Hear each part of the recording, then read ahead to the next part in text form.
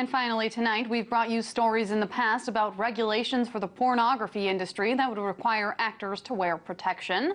When Measure B passed in Los Angeles, it stated that performers must use condoms during sex scenes or face fines or criminal measures.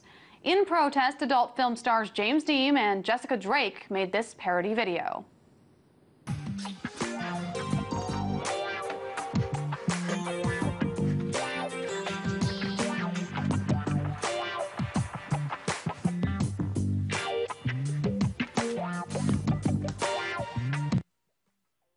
But it looks like the two weren't that far off the mark. New draft reg regulations, excuse me, currently under consideration in the California Senate would require, quote, personal protective equipment or goggles to ensure that there's no, quote, ocular contact with male bodily fluids.